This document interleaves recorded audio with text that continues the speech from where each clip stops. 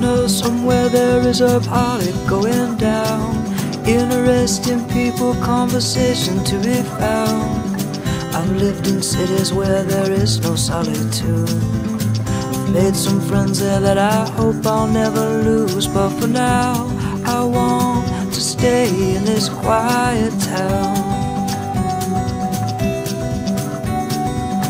Neighbors on my block, they've got stories to tell.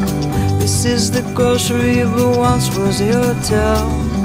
And Mr. Driscoll, he just stands there with his smile, inviting everyone he sees to come inside. This is the life I want to live in a quiet town.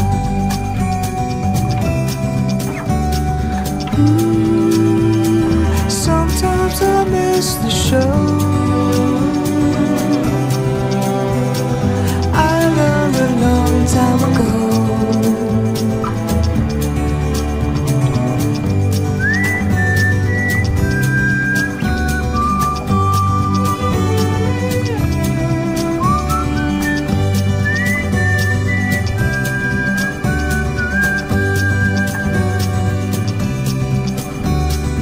Mm-hmm.